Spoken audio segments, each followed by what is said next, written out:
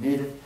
And then we've got quantum mechanics. Quantum mechanics, of course, is, goes beyond these other theories, but um,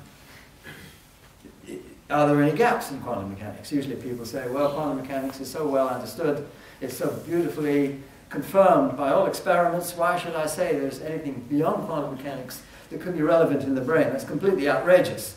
It is pretty outrageous. I'm saying that quantum mechanics is A, limited in its scope.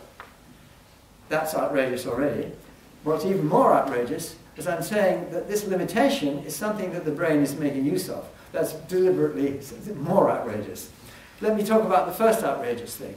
Well, you see, quantum mechanics works, it's a beautiful theory, it works amazingly well, but it is only known to, it, and it works without exception. There is no known experiment which goes against quantum mechanics. However, in my view, that's not so surprising, because where the quantum mechanics goes wrong, and I think it does go wrong, is when you have large objects. And basically this was appreciated by Schrodinger when he introduced his concept of the, of the Schrodinger's cat, as we call it, where, where you could have a cat which was dead and alive at the same time, and it would not be very difficult at all to produce an experiment where you have, a, say, a photon split into two groups, and this one triggers something which kills the cat, and the other one doesn't trigger it, and the cat's alive.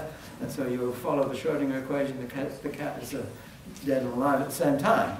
So that's the way the Schrodinger equation works. It's the way that part of quantum mechanics works. But then you say, well, that's not the way you use quantum mechanics, because what you do is you use the wave function to calculate probabilities. Okay, that is the way you use quantum mechanics. You use it to calculate probabilities.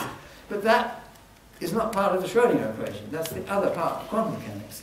And these two parts of quantum mechanics are mutually inconsistent with each other. Now, that can be, as arguments can go backwards and forwards endlessly. But to me, they are inconsistent with each other. The way you use quantum mechanics is says there's one outcome or another. One is the dead cat, the other is the live cat. You will only find one or the other. You won't see the cat in a superposition of dead and alive, which was the whole point that Schrodinger was making when he introduced this thought experiment of the cat anyway. So he was trying to say, look, my equation, I mean Schrodinger's equation, is, is limited in its scope. And that's what he was pointing out. And Einstein agreed, and, and even Dirac agrees that there has got to be some, something beyond the standard rules that we have in quantum mechanics. Now, of course, people argue endlessly about that. I happen to think that where the limitation is in current quantum mechanics is when you have enough mass displacement that you have to worry about the effects of general relativity. Now this is, can be very small. You see, I can take this gadget and move it from here to here. There's already enough, um, enough mass displacement there that if I had a superposition of the two locations, for that superposition to survive for more than a tiny fraction of a second. So I'm claiming that, that there's something has already gone wrong there. You don't usually worry about that because you don't do that solving the Schrodinger equation. You do that by classical physics or by bringing in the measurement part of quantum mechanics, which is inconsistent with the Schrodinger equation. I've been talking a long time about this question because it's a complicated question. but my argument is that there is a gap, and that this gap is not understood, and the understanding of it will require new physics, not just better understanding of current physics, but new physics. And that new physics is going to come in at a certain level which could well be relevant to the action of the brain. Now, this is a long, complicated story, and whether you follow this and disagree with me here or here or here or here, you, you might easily do so. But I'm just giving you my point of view. But my point of view is that when we consciously experience something or consciously choose something, there is there something which is taking advantage of the parts of quantum mechanics or the extension of quantum mechanics that we don't understand today. So what I'm not claiming is that it's the brain is making use of quantum mechanics. It's more outrageous than that. I'm saying the brain is making use of where quantum mechanics is wrong, which is a pretty wild kind of statement, so I'm not surprised people would disagree with me. But on the other hand, consciousness is a pretty strange phenomenon. It doesn't happen, as far as we know, all over the place. Um, that gadget is probably not conscious. Now, what's the difference? A huge supercomputer, there's no evidence whatsoever that it's conscious. People might say, well, you know, it, it thinks it understands or something, but there's, there's no real evidence for that. Uh, it seems to me there is something very strange going on, which has taken many um, millennia of years to evolve and enable beings, not just humans, I'm sure, because that um, even the cat, the poor cat, which has been putting into a superposition, in my opinion, has consciousness. And there is something going on there which is not understood, in, not just in detail, it's not even in principle understood according to the physics that we have today, and that we are going to have to develop that physics in ways which may seem not have anything to do with it. Uh, I think we need to develop the physics anyway, quite apart from consciousness, but I am saying that, that, that I do believe that whatever is involved in consciousness, and we're a long way from understanding it, is, is something which uh, needs to take advantage of that. Now, you see, when I wrote the book, The Emperor's New Mind, I had no idea what it could be in the brain. And I thought that by the time I had learnt enough to finish writing the book, I would get some insight into what it could be, and I didn't. So I had some rather weak thing at the end of the book, which I didn't really believe, to do with um, something to do with synapses or something.